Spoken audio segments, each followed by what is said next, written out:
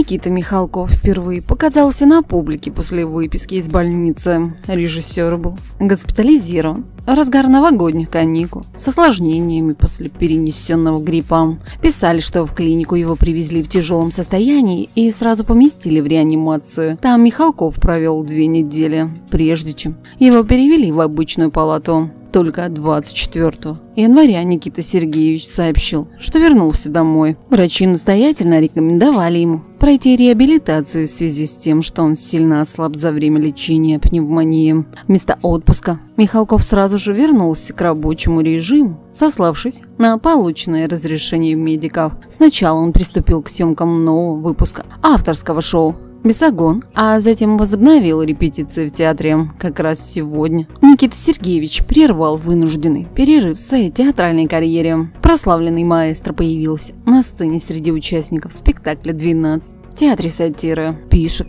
Пятый канал. Стоит отметить, что зрители были приятно удивлены увидеть Михалкова в здравии. На фоне тревожных слухов о его недуге в январе многих хватила паника. Писали, что оскароносный режиссер находится чуть ли не при смерти. Никит Сергеевич, как видно, немного изменился внешне за время болезни, но слухи о критическом состоянии были явно сильно преувеличены.